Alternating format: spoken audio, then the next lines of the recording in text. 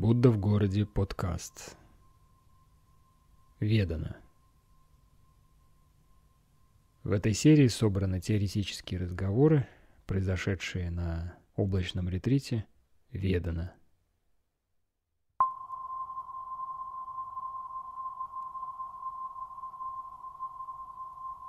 Окей, хорошо. Еще у кого есть какие отклики или вопросы остались или что еще?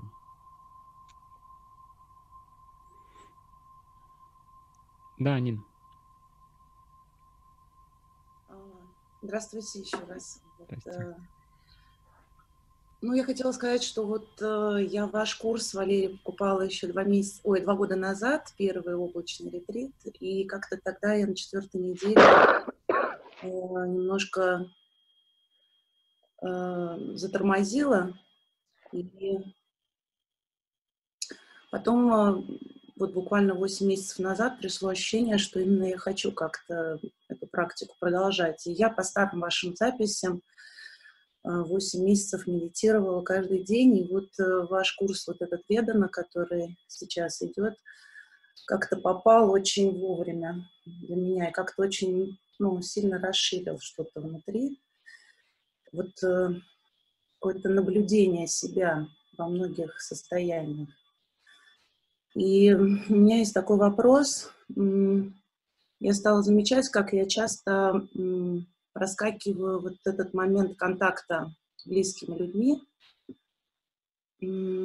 от многих чувств внутри, от волнения, от э, переживаний, что надо что-то делать обязательно, чтобы были отношения. Вот этот момент тишины и пустоты какой-то в отношениях, он мне немножко, ну, много чувств вызывает и пугает в том числе. То есть я как будто бы заметила, что раньше я все время пыталась в этот момент что-то делать, чем-то заполнить эту всю пустоту. Потому что ну, невыносимо как будто бы переживать этот эм, момент. И вот э, А, сейчас... все-таки чуть подробнее, что значит этот момент тишины и пустоты в отношениях? Что, Ну, что как будто вот, э, когда сталкиваю, я работаю с детьми. А, и а, когда я с детьми, ну, я на примере просто, когда я сталкиваюсь с ребенком непосредственно в контакте, мне все время кажется, что нужно мне что-то обязательно делать, а, чтобы ну, чем-то его развлечь, э, что-то ему... Занять его чем-то. Да, обязательно как-то предоставить условия, создать все. И это на самом деле перенос на все отношения, в том числе и мужско-женские, ну, как бы партнерские отношения. И я на самом деле стала замечать, что я очень устаю от этого.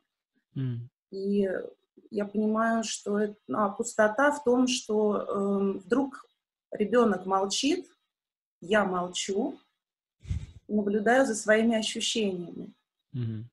а, и пытаюсь понять вообще, а что я-то в этот момент. Мгм. Ну и что происходит? Что вы понимаете? Что вы Ну, чувствуете? Много ощущений, много всяких разных состояний. Я достаточно чувствительный человек, и я славливаю и свои состояния, и как бы комфортно, мне некомфортно. Я очень часто пугаюсь, что может быть, то, что раньше с этим ребенком и человеком нравилось заниматься, то сейчас я испытываю какой-то дискомфорт большой. Мне не нравится ближе, ближе подходить, мне не хочется до него дотронуться. Это связано, может быть, с каким-то просто моим внутренним состоянием. М. А, меня это начинает пугать, то есть как Мгм. будто увеличивается дистанция, как будто бы мне нечего ребенку предложить. М. А не пробовали ребенка спросить, ну или другого человека вообще спросить, а Пробую, ты да. как вот сейчас, ты как, что ты хочешь, что бы тебе хотелось там, например? Нет, сейчас именно так и происходит. Э, Просто это новый опыт для меня. Я Мгм. понимаю, сколько много чувств внутри меня резонирует э, с- со мной самой, то есть в моем, теле. И эм,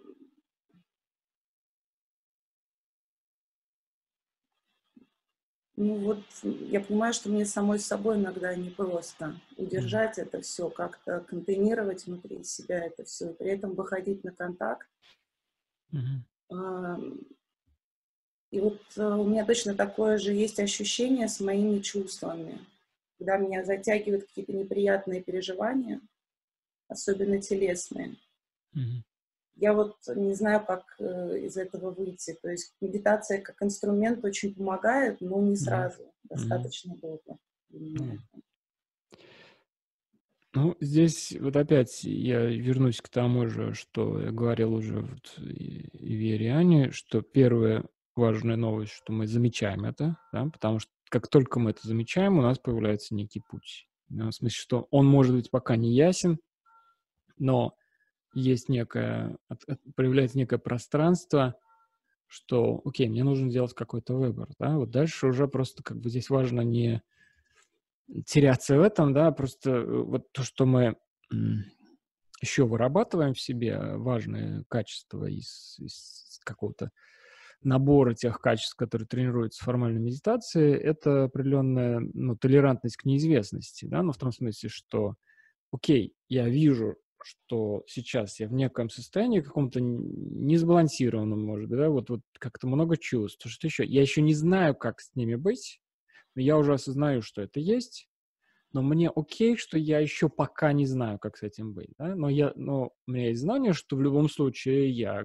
найду этот путь, я просто если я не пойду. Да, вот это мы как-то потихонечку, потихонечку, опять же, тренируем в, в наших этих практиках.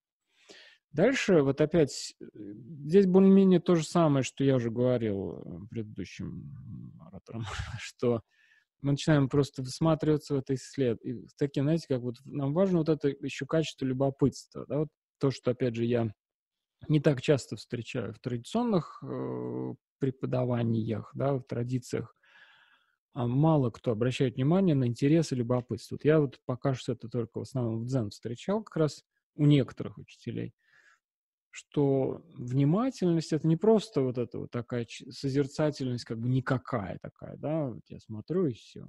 А я исследую, я, я замечаю, я, я интересуюсь вообще этим процессом, да.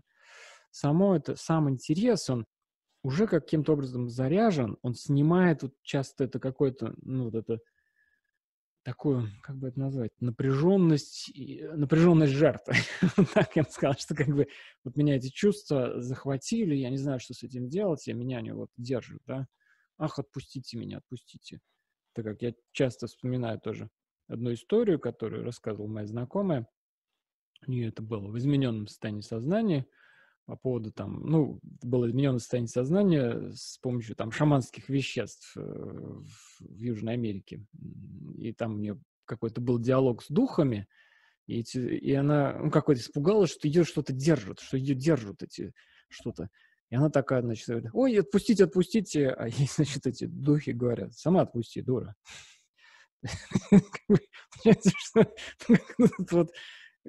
кто кого держит, непонятно, да?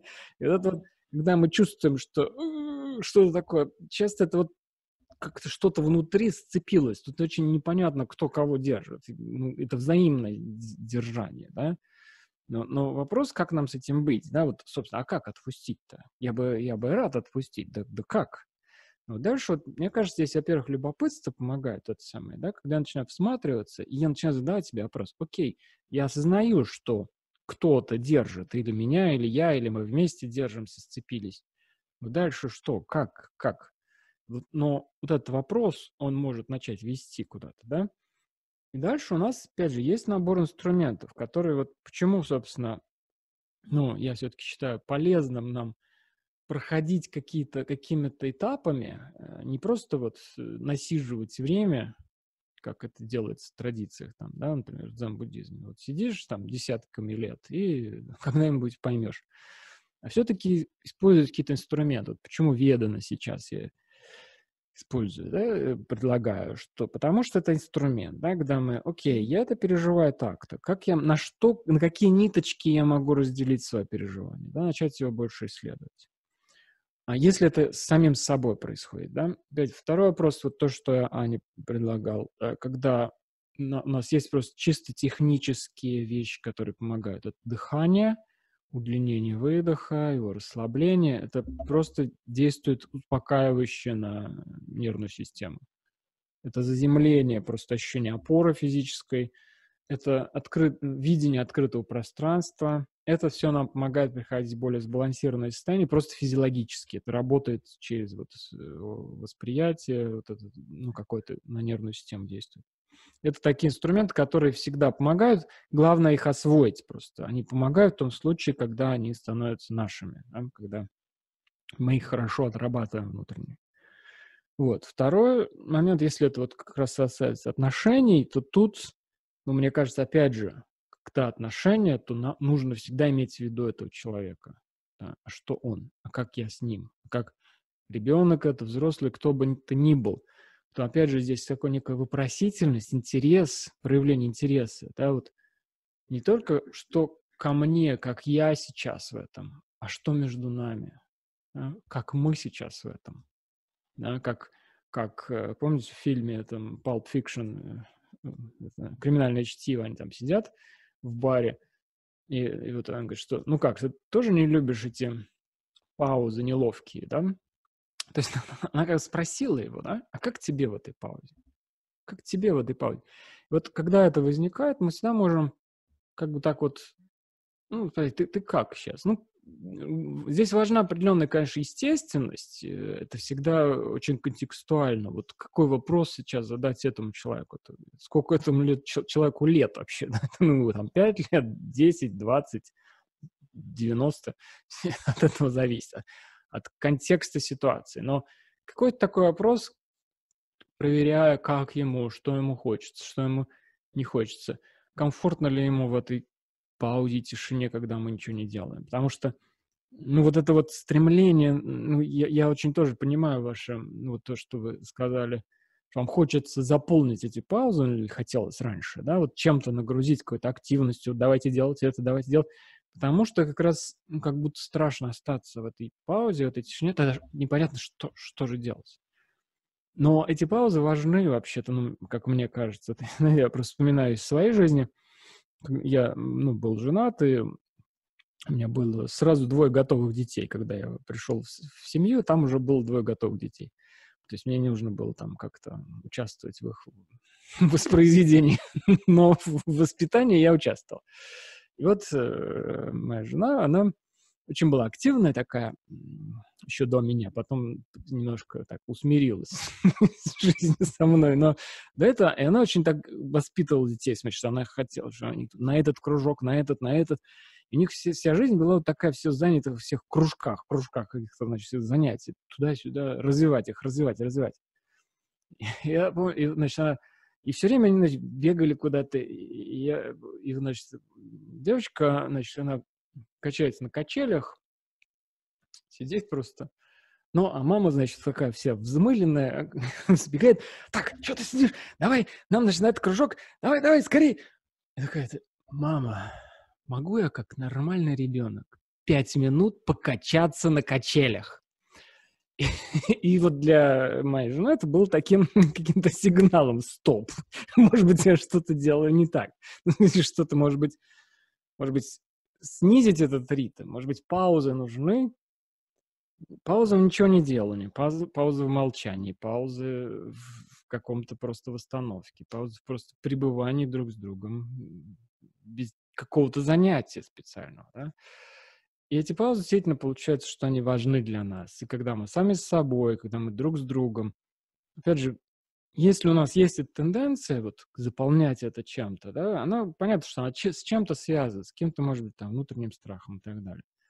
И ну, проходит какое-то время, прежде чем мы находим в этом определенное удовольствие, определенный покой, какой-то определенный смысл тоже, да, что вот с человеком можно просто сидеть, молчать, и это хорошо, оказывается, да, что, не обязательно, что пауза не обязательно будет неловкой, да, что пауза может быть наполненной, глубокой, какой угодно, да. Но это, опять же, постепенный путь к этому переживанию, да. И здесь важно, значит, почему мы делаем формальные медитации сами с собой, потому что действительно нам нужно научиться потихонечку сначала с собой делать эти паузы, да.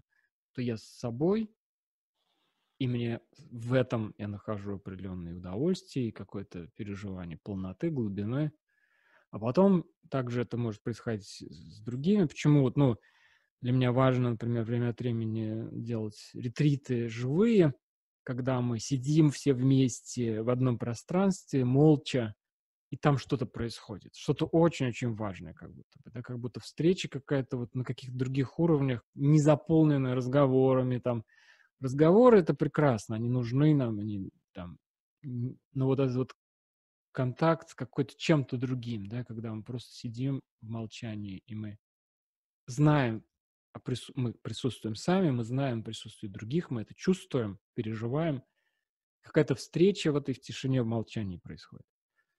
Очень важный такой момент, очень про нас, про людей тоже, про какую-то глубину. И мне кажется, это очень может быть важным ресурсом. Но к этому ну, постепенно, постепенно можем двигаться. Ну, Спасибо большое, хотела сказать за этот курс. И тоже за медитацию мета. Тоже очень сильно как-то мне откликается. Mm-hmm. Такое ощущение, что мой ржавый контейнер там начинает как-то скрипеть и раздвигаться. И я чувствую какую-то широту внутри, действительно, наполненность. И мне легче воспринимать а, как бы все, что по-другому как-то фокус восприятия немножко меняется. Mm-hmm. И это очень как-то мне отражается и на, на мне, на моем состоянии, и на Э, как бы о том, как я что-то делаю, и в контакте это тоже очень помогает. Как раз э, помогает э, эм, тоже не спешить в отношениях, как, как раз, и у меня меньше тревоги становится, тревожность понижается. Спасибо Вере, я хотела сказать, потому что я такой человек, э, то, что я вышла сейчас ну, как бы в эфир, для меня это такое событие. А Вера, мне очень приятно, что вы задаете вопросы, и они мне тоже очень э, созвучны. Я как-то через вас тоже много что для себя открываю. И когда Валерия отвечает, тоже как бы получается, что мне попадает то, что нужно. Вот. Спасибо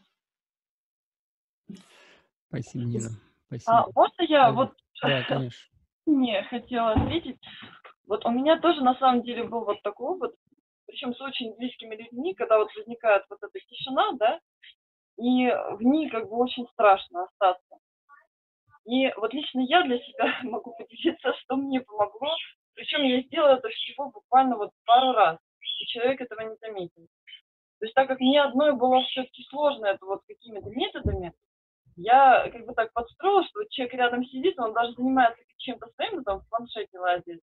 Я взяла вот медитацию, поставила себе в уши, я прошла буквально вот э, настройки вот Валерия в присутствии этого человека.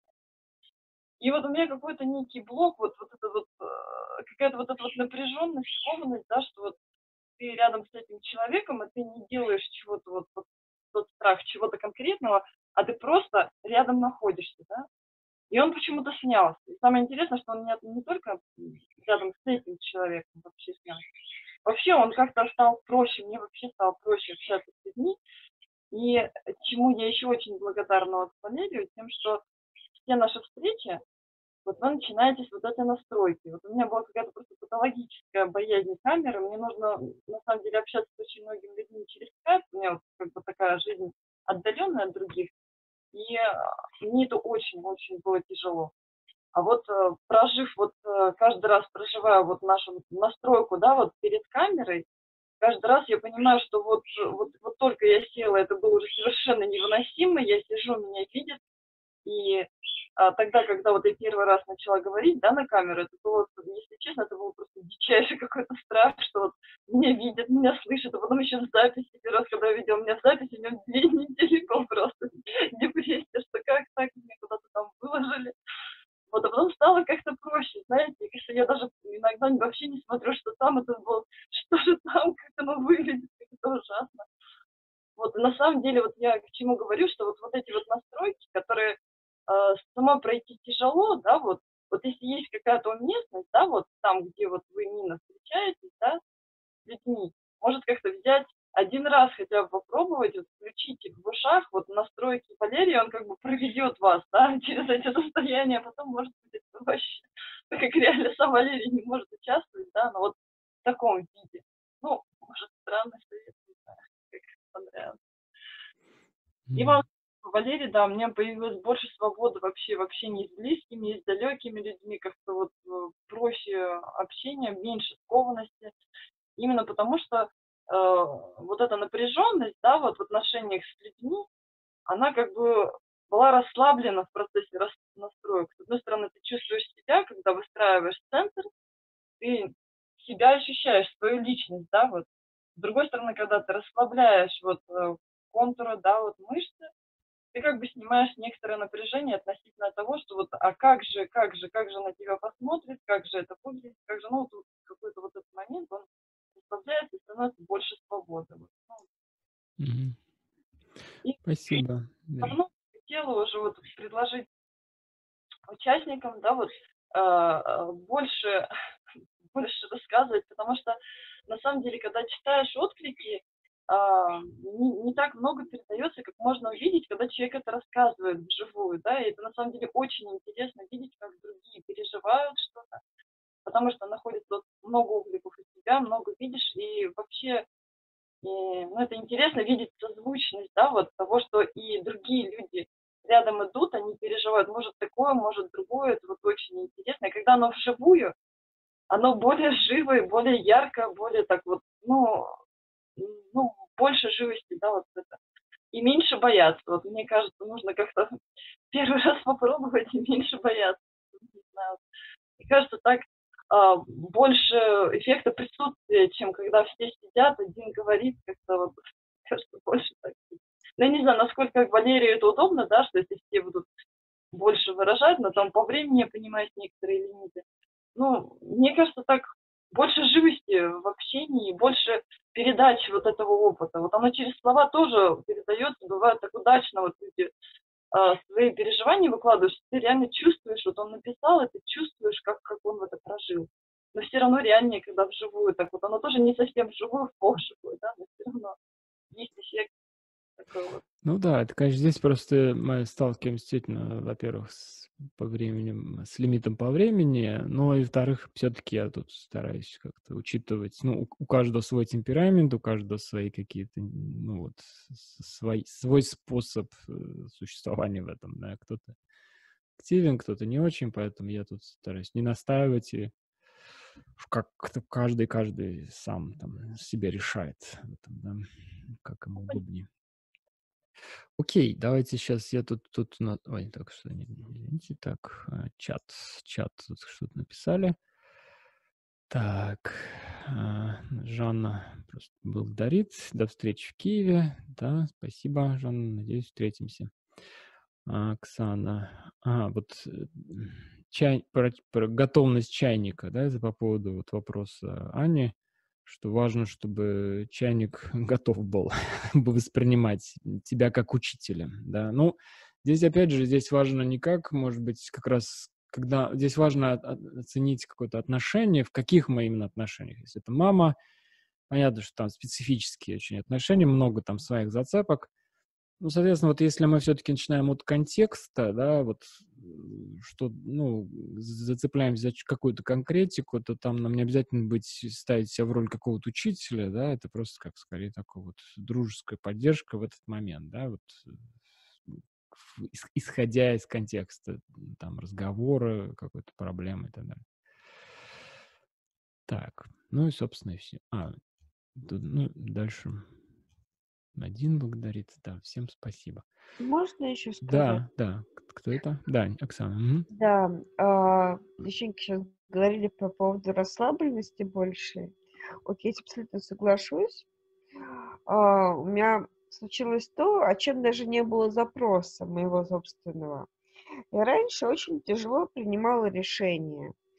И у меня было в этом очень много напряжения мне казалось, что вот какое я решение вот приму, вот от этого, ну, как-то охренительно очень много зависит в будущем. А эти два месяца мне показали, что иногда а, жизнь просто каким-то образом идет, и каким-то образом все-таки само все случается. Ну, само важное.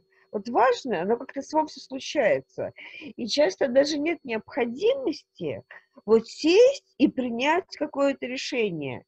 Часто решение принимается просто, вот видишь, ты понимаешь, что тебе это нужно, ты принимаешь решение.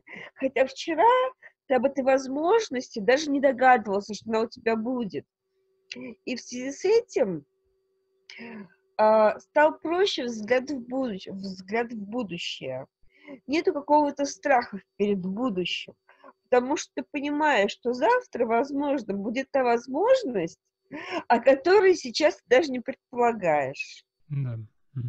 Вот. Да, это очень важно. И, ну, это, собственно, опять же, почему я, там мне близок этот подход дзен-буддизма, что он об этом, да, мы возвращаем, вот, возвращаемся в это присутствие, стараясь больше это осознавать, что сейчас есть, да, вот те возможности, которые есть сейчас, какой-то выбор, не заглядываешь очень, то есть мы можем что-то планировать, конечно, это часть нашей жизни, плана, но как-то отдавая себе отчет, что придет новая информация, новые возможности, и Сейчас я не могу это решить точно, да, вот как-то умение, опять же, ждать. И какая-то там, ну, опять же, вот эта некая толерантность перед неизвестностью, да, что мне окей, что у меня сейчас не полная информация, я не знаю, что будет в будущем, но, но есть моя жизнь сейчас. Вот какое-то переключение своего какого-то вообще модуса жизни, что ли, в большей степени в это, да я, я здесь, я это переживаю, а будущее позаботится само о себе.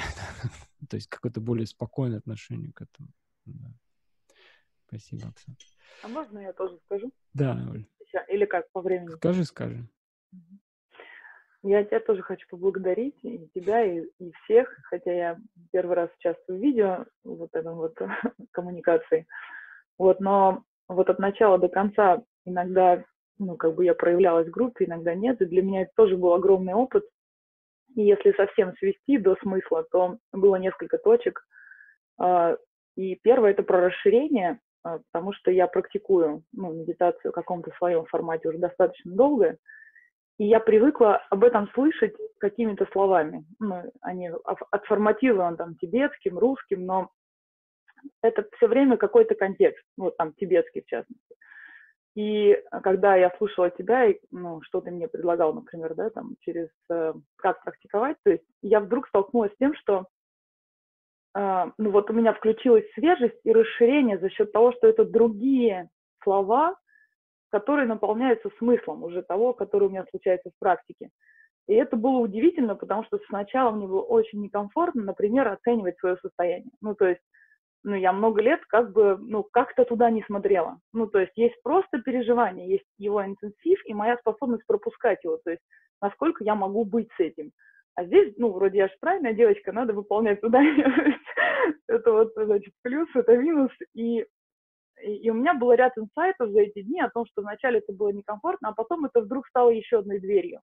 То есть я вдруг увидела через эту штуку, что а, это вот как перед зеркалом тоже я у тебя сидела на ретрите, и я увидела, что все мое внимание, оно в отражении. И оно настолько там, что я как бы забываю, из кого я смотрю и кем я это, это созерцаю. И вот этот вот это реле, рычажок, а как у меня там, да, то есть я вдруг поняла, что это стало еще одной опорной точкой, не теряя как бы контакта с тем, от чего я это проживаю, я понимаю, что я ежесекундно на самом деле чувствую только себя. И, и как бы в общем-то, то, что я есть и дает возможность, это, это как бы неотделимо. И в этот момент у меня такое произошло, как будто какие-то слепые части подсвечиваются. Это было первое. Дальше само вот это вот плюс-минус дало, ну, еще раз мне понимание, я прям увидела какие-то части, где я выбираю одну сторону и не хочу идти в другую. И э, когда я принимаю другую сторону, то как бы происходит расширение на весь диапазон, ну и по сути я могу этим управлять. То есть такая какая-то такая метафора вот этого эквалайзера. То есть в какой-то музыке можно вот так, а в какой-то так.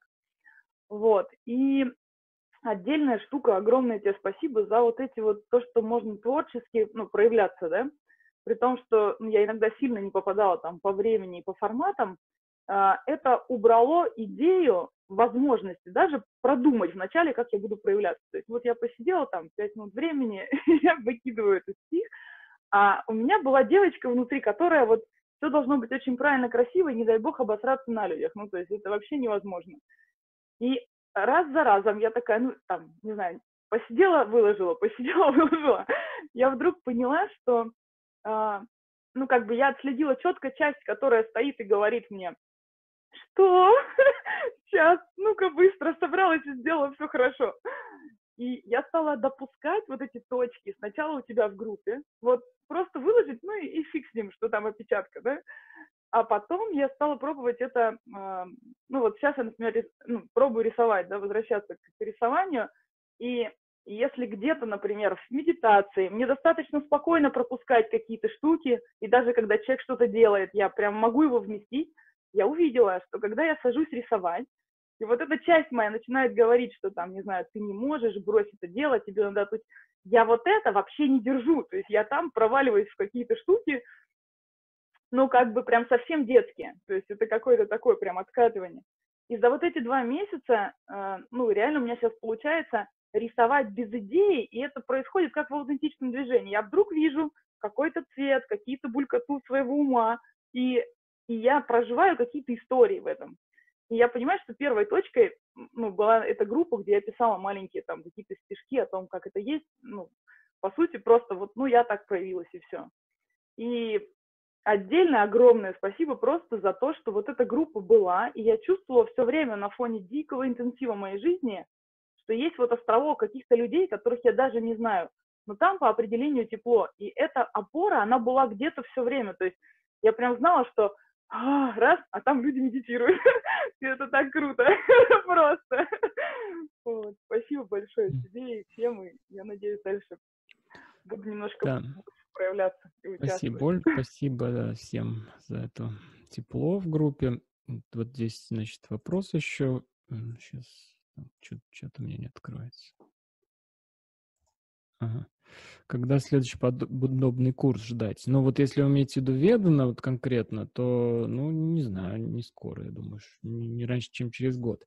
Просто я сейчас свои вот эти вот э, ретриты, если вы заметили, я их выстроил в определенной последовательности. Она действительно последовательность. То есть, ну, как я это вижу. То есть, из, она происходит из, эм, ну, вот как бы там, там я ви, у меня есть там определенная логика, да, что мы проходим от одного к другому, где есть развитие одного навыка, который как бы насаживается на другой. Они, в общем-то, ну, как бы самодостаточны, я считаю, и можно проходить просто отдельные территории сами по себе и дальше просто двигаться в конкретной, может быть, практике или в конкретном направлении. А, но у меня есть в этом логика всех этих ретритов внутренняя.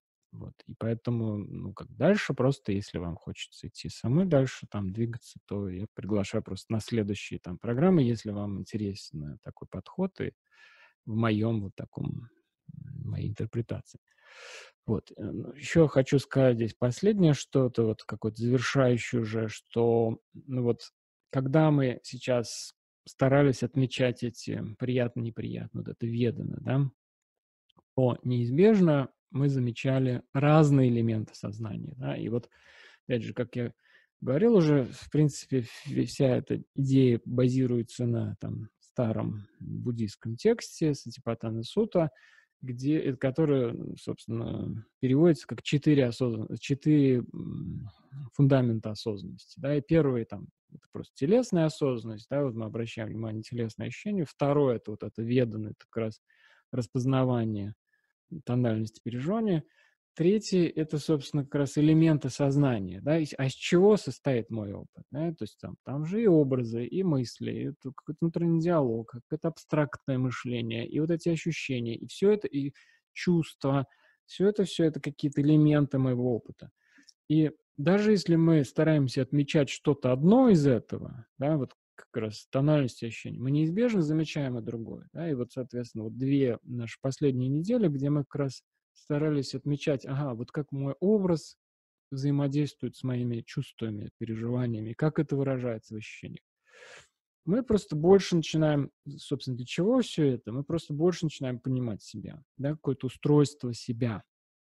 И вот и дальше в этом устройстве начинаем распознавать эти элементы, и даже вот все-таки я считаю, что самое большое распознание какое-то глубинное, это то, что я — это некое пространство переживаемого опыта. И пространство дает некую свободу, и из нее мы начинаем действовать. И э, какой-то уже практический результат, вот, собственно, то, о чем сейчас говорили, да, как мы действуем в мире, как мы проживаем эту жизнь в отношениях с миром, с людьми, с, с, там, с вещами, вообще с своей жизнью какой-то, да, с ее разными элементами, с, как мы творим себя, как мы творим свою жизнь, проявляем себя. Вот. И, соответственно, дальше, вот если говорить о какой-то пути, каком-то путешествии внутреннем, то ну вот следующие элементы того, как раз, что я предлагаю, они будут касаться в большей степени такой, ну вот, этики, да, этики как э, качество взаимодействия с жизнью, с миром, с другими людьми. Из чего это рождается? Я считаю, что там во многом это рождается из сочетания наших внутренних историй, обусловленностей наших а, вот этих телесных переживаний, да, чувств каких-то, которые рождаются в этом, и определенной осознанности. Да, естественно, если мы будем больше базироваться на осознанности, то наше, ну, какое-то поведение в жизни, оно может быть э, другим, естественно, как-то потихонечку меняться, да.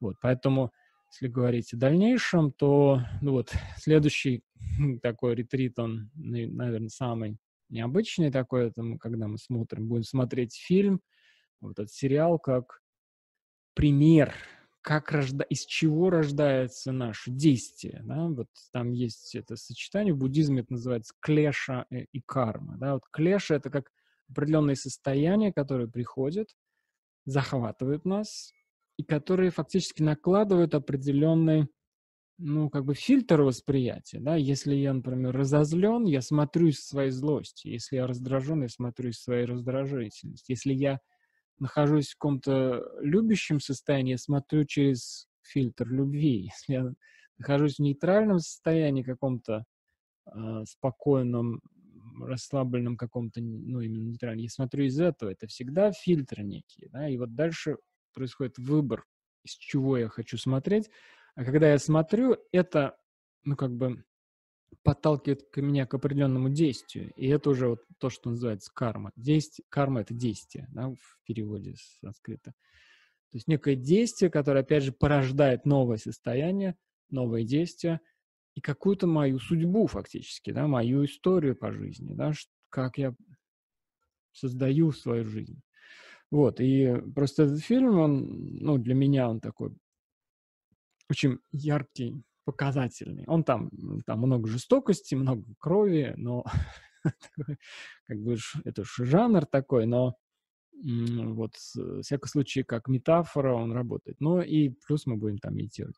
Поэтому, если вы хотите, вот, соответственно, дальше уже на следующей неделе мы начнем это. Если там нет, то, значит, а вы, Петров, прощайте. Иванов, до свидания, Сидоров, до свидания, вы, Петров, прощайте. Вот, то есть каждый уже решает сам, как там. Окей, а, значит, что еще?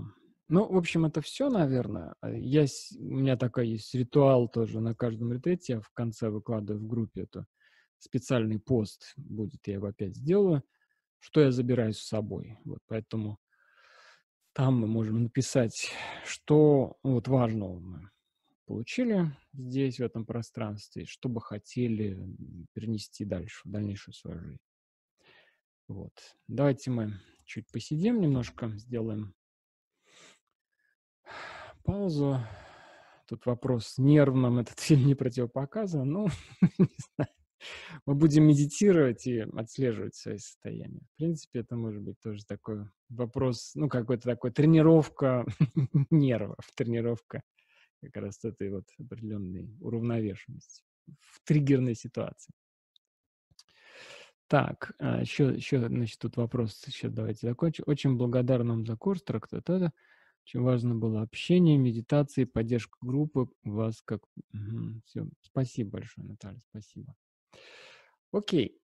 Все остальные там отзывы, благодарности давайте писать в группе. Давайте сейчас чуть-чуть посидим, просто вот придем опять к телу, к дыханию, почувствуем опору, вот какой-то свой центр дыхания. Одновременно с этим можем послушать окружающий мир, пространство. Одновременно с этим видеть его. Какое-то время побыть в этой тишине, какой-то, даже тишине, наполненной звуками. Внутренней тишине, наполненной ощущениями, чувствами, мыслями, может быть, даже. Но одновременно это все пространство, в котором все происходит.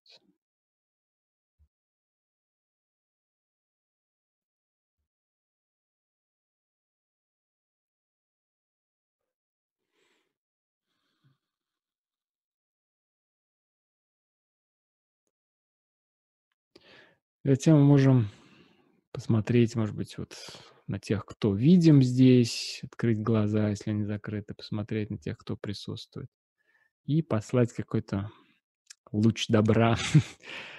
Будьте счастливы. Всего вам хорошего, всего вам доброго. Здоровья вам. И всяческих успехов в жизни. В общем, мы оставимся в любом случае на связи, если там, будет ли это продолжение в виде ретрита или в группе «Облачная Сангха». Вот, чтобы не теряться, для многих действительно это некая поддержка. Вот как Оля сказала, что есть люди, которые медитируют. Где-то они там есть. Всегда они есть. И мы можем это вспоминать и как-то проявлять себя тоже, вот как Вера говорил, да, проявлять, слышать друг друга, там, писать, что-то, быть вместе. Спасибо вам за эту совместность и Надеюсь, до следующих встреч. Всем счастливо. Пока.